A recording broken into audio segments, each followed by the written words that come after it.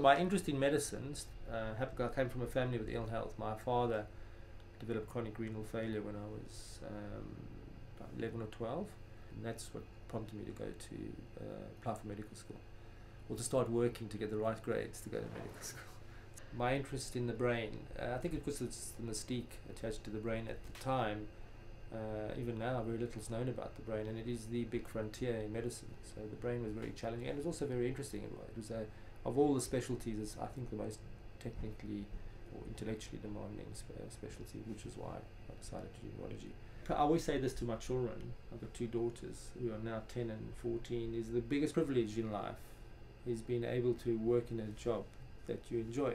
But what keeps us, what keeps me uh, driven, is the uh, belief that we can make a big difference in MS. So, what I do in a week. So every Tuesday morning, neuroinflammatory clinic. My other clinic's on a Friday morning, multiple sclerosis. In between that, then I also do trial work in the trial unit. Do ward rounds because I often get a lot of emails, at least two or three hours. Monday morning and a Wednesday morning, for blood results, doing the administration around trials. Either seeing patients, phone calls, my um, uh, research, half days or full days or two or three days. And I just don't have time to do that have regular meetings with them. I'm also the center lead. I run the Neuroscience and Trauma Center, filling in forms for HR, been on interview panels, doing appraisals, performance management. I have to write articles, I have to write grants, I have to do email. I must spend about four to six hours of emails. I do my emails mainly in the evening, usually start at about 10 o'clock at night doing emails. The other thing that's taking a lot of my time now is training for the London Marathon. So yesterday um, I did a 19 mile run part of the training. Um, I usually am much fitter than this for a marathon, so this is going to be a touch and touch and go marathon. So um, if you're listening to this, sponsor me. Uh, that you can you can find the uh, link on um, just kidding.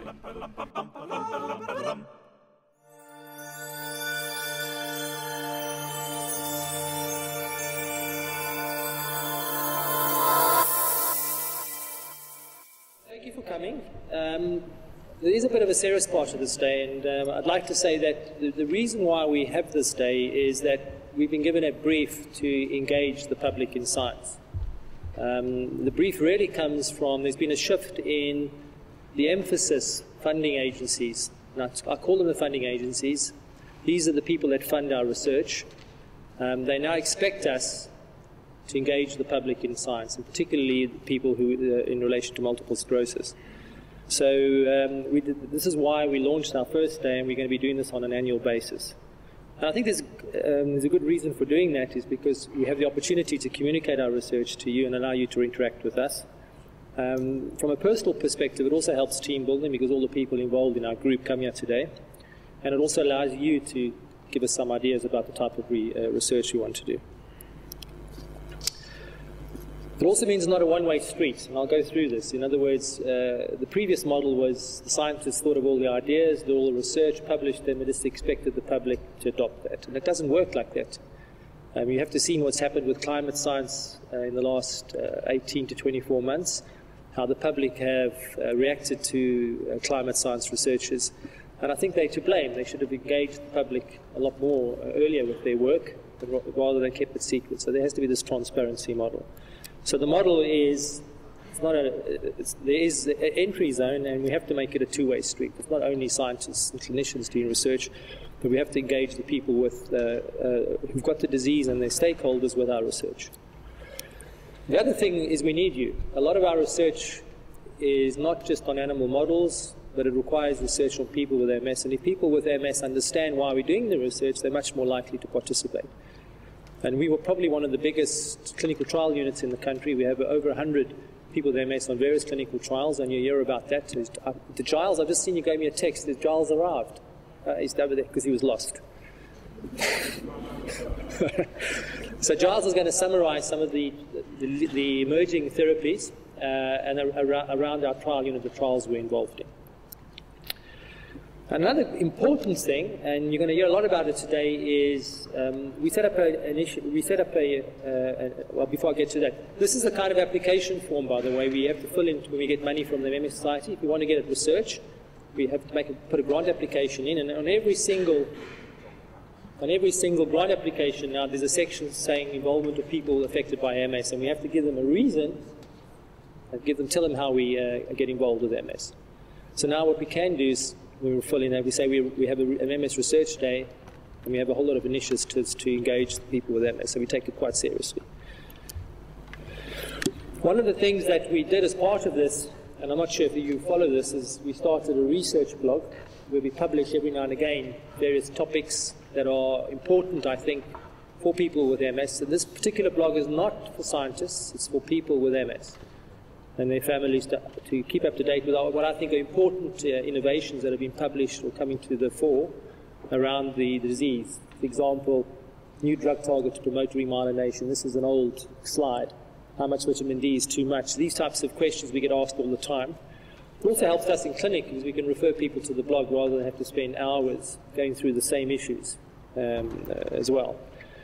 I'd like to show you some little correspondence, and the good thing about a blog is interactive. So um, I don't think it should be political, but we made it political. Uh, in, in, September, Vince Cable came and gave a talk in our institution about um, the potential budget cuts to science. Okay, and I, made, I apologize for politicizing the blog. Um, apologies about politicizing this blog. But what happens to investment in science in the UK will eventually impact on the lives of people with MS and their families because we depend on research funds to do research. The only way to limit the impact of this devastating disease is through scientific research. The unmet need in MS is massive, and I list what I thought the unmet need is. Okay, when I said without investment in research, how, how, are we going to address these needs? You may find Vince Cable's speech interesting, and I gave a link to his speech, which is still available on the internet. And I got quite a, interesting feedback. So there was a comment. When I read your comments, I realize how little has actually been achieved for MS sufferers given the research into the disease has been going on for 50 years. I don't agree with that because I think a lot's happened uh, in MS research in the last 50 years and we've really advanced the, the field. Okay, but at least it provides opportunity to respond to that.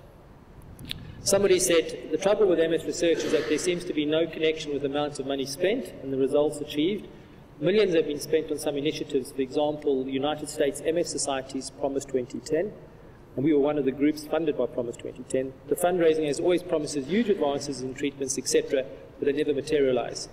With investment to date, very little has really happened. For example, no treatment for people with progressive MS. The question shouldn't be why there isn't more funding, but why so little has been achieved with the huge investments already made. And we will show you today some of the advances we've made with the research that's been funded by Promise 2010 and hopefully convince you that something is happening. And then there's number, this, this is, this, this is the, the one that really um, was very, very interesting. Academics and researchers who, who are judged on the number of peer-reviewed articles or presentations at international conferences, they often rely on funding from the drug companies are not going to bite the hand that feeds them. And this, and this is a career. Many MS academics, that's me, and that's all of us, uh, and, uh, uh, slash researchers have been researching MS for 20 plus years, implying that we really need to continue this research to keep our careers going. Um, it's a bit of a cynical attitude, but what you've got to realize, and I was just discussing with somebody this afternoon, uh, uh, is Ian, just to ask questions about it, is that we didn't create the pharmaceutical monster.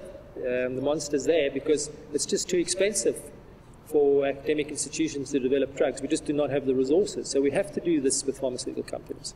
There's no, uh, so we have to interact with pharmaceutical companies. If we want to develop drugs for people with MS, we have to follow the model that's out there. We cannot do it. The costs are far too high for, for academics within the NHS to do the kind of trials and development work to develop drugs for MS. And then this one, uh, as someone with MS, I know the unmet need is massive. It's a pity that researchers can't focus on one aspect, uh, for example, progression, and solve it as quickly as possible. And we are, we as a group are focusing on progression, and we'll discuss some of the, the work we're doing today. And then somebody just said thanks for sharing, which is a, a nice comment. So the key questions that um, we need addresses in terms of research is the kind of questions that people always ask us is can we cure the disease? And if we can't cure the disease, can you make me better? Can you improve the symptoms, stop me getting worse? And can you restore my lost function? And we will try and discuss all those issues today about possible, can we cure the disease?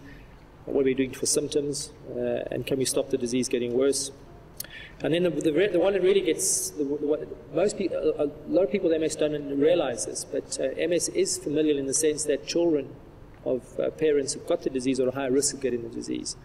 And we're beginning to understand a lot about the, uh, the, the, risks uh, attached to getting the disease. And one of our major research projects that we're launching is, a, is to try and prevent this disease. But before we can prevent this disease, we've got to predict this disease. And you'll hear some of the work that's been going on, uh, developing in terms of uh, prediction and hopefully eventually prevention. And one of the things that Maria said to me, I cannot talk about, nobody can talk about, is death and dying. And I, and I say no, because although a lot of this today is going to be fun and, and enjoyable, there is a serious, serious aspect to this disease. And this is the serious aspect. This is a, um, a study that we did uh, uh, to try and get the drug Tysabri, natalizumab, licensed in the United Kingdom. We had to show NICE that this drug was cost effective. And we went out to the population and did a, a survey asking them about how they interpret the quality of life of people with the disease.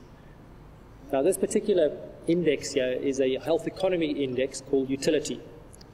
Just to explain, a utility is basically quality of life. And if you've got a utility of one, your quality of life is perfect. And if you've got a utility of zero, your quality of life it doesn't exist because zero is death. So anybody who's got utility score above uh, zero, okay, has a reasonable or has quality of life.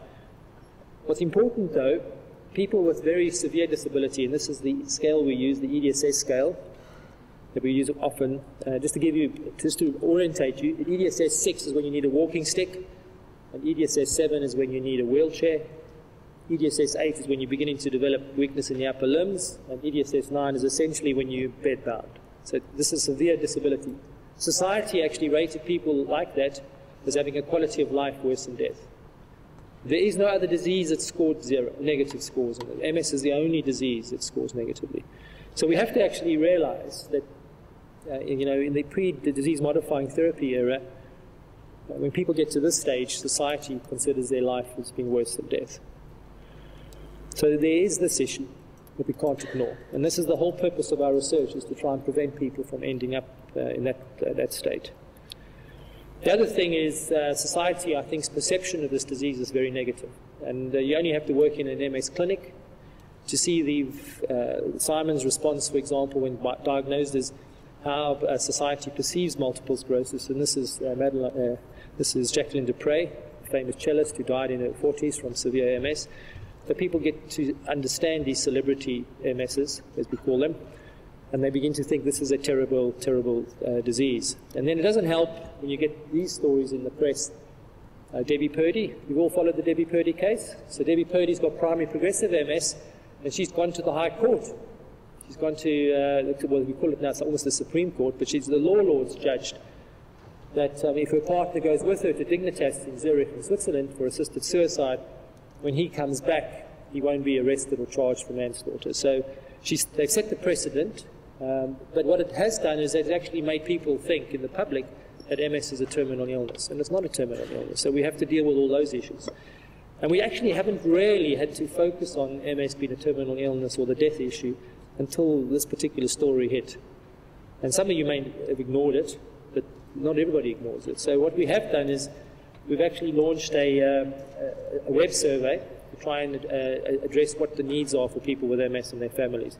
It's taken us a whole year to get ethics for this, by the way. It's bounced backwards and forwards about 20 times. So Morag, I don't think Morag's here today, uh, but Morag's leading on this, and it's a joint project between us and the MS Society, and it's a five-minute survey um, just to get people's attitudes and how we should incorporate people's attitudes into our, uh, our MS service. So if you can, I would appreciate it if you could log in and, and do the survey. And there, there, there is potential counselling if people find some of the issues um, uh, and, uh, to discuss some of the issues.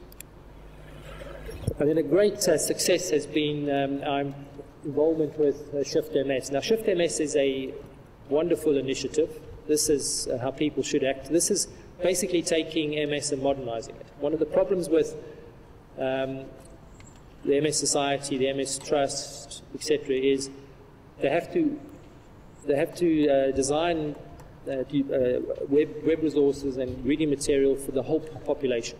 George Pepper, who has multiple sclerosis, didn't like, developed multiple sclerosis when he was in uh, university, and his friend Freddie, they didn't like um, the the, uh, well, didn't say they didn't like it, but they felt that they weren't addressing their needs as somebody young with MS. So they actually uh, started Shift MS, and the purpose of Shift MS is to uh, create a web resource for young people with multiple sclerosis and to incorporate uh, uh, what I would call new technologies like Twitter, Facebook, YouTube, etc.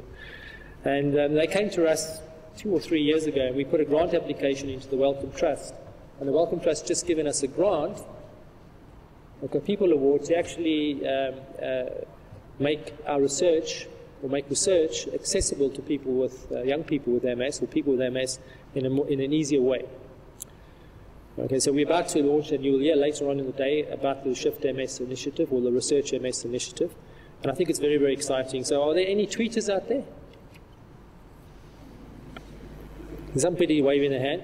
Well, you can tweet today if you want. Uh, there's a, you know, hash, it's called Bart's Research Day and it'll go onto Twitter. So Becky's at the back, and she set this up. So if you want to tweet, hash Bart's Research Day, anything you want about about today, and then. Um, before we get on with the proceedings for today, I really like to thank all our sponsors, and I can't mention them uh, all uh, in detail, but there are big ones and there are small ones. And these are the organizations that fund our research. And I have to particularly thank the Multiple Sclerosis Society, United Kingdom and Great Britain, and the National MS Society, who funded our large Promise 2010, Aims to Cure, who've been uh, supported us now for almost 10 years, and uh, the, the, the, MRC. And then we've got a large number of uh, collaborations with industrial companies, mainly to do clinical trials of new novel agents in people with multiple sclerosis. So we wouldn't be here today talking to you about the research we do at Barts in London uh, without our, our funding organizations. And then these things don't happen without having to spend money. So um, I'd like to thank, and we've, we've had generous sponsorship from uh, industry for today. And I'd like to thank Bayer Healthcare, Biogen Idec, Merck Serono, uh, Novartis, and Genzyme for uh, kindly uh, funding or sponsoring uh, uh, today. Just to say to you, I have to acknowledge these companies, but they have no input at all into what we talk about today. This is um, what we call educational grants, and the agenda is all set by us if you want to. Uh. And then I also have to thank Maria. This is Maria in her. Because I, I, I, gave her the task of organising today, and I said to her, I don't want to know too much about it. My life's busy enough as it is. And uh, we go away and organise the day, and she's gone away and organised the day. So this is all up to Maria, and I'd like to thank Maria very much. We can a round of applause to help.